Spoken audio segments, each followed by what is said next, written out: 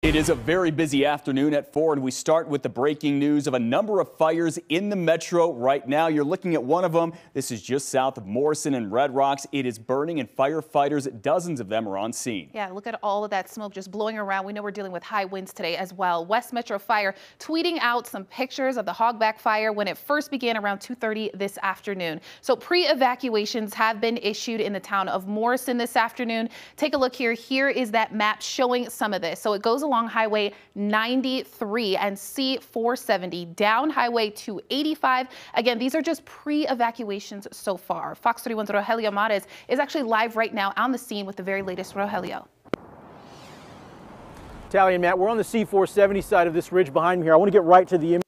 You can see the smoke and the flames from this part. My colleague, Jay, uh, photographer, just pointed out that some of the smoke some of it is white, so who knows what exactly could be burning up there. All we do know is that this fire is moving fast. We were on the uh, west-facing side of this ridge where we saw flames and smoke uh, and the fire spreading and, and, and, fire crews out there on that side taking care of it. Uh, we made our way to the other side and uh, well, you can see the video there. This is on the west facing side of the ridge, but this fire is moving quickly. Uh, it has caused some traffic here along uh, I-4, uh, C470, and it is uh, spreading uh, southeast of this area. Here's the information we've got from officials. West Metro Fire is calling this the hogback fire. They initially estimated it to be at 10 acres, likely has grown. They said it was growing earlier. It's pushed by extremely uh, strong winds moving from Alameda and, and 470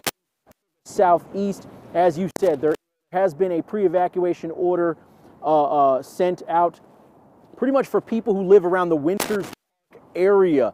Uh, that, that zone kind of focused more toward the eastern side and the southeastern side of that Winters, uh, Matthews Winters Park area in uh, heading toward Morrison.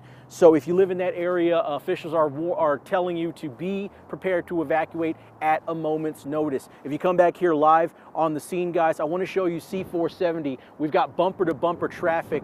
You can see here uh, uh, lots of the, the smoke and dust from this ridge and from this fire working its way onto the highway here. Uh, so if you're driving in the area, expect delays. It is bumper to bumper right now uh, as crews uh, take on this uh, hog, uh, pardon, this uh, uh, the hog back fire here just southeast of Morrison, not far from Matthew Winters Park.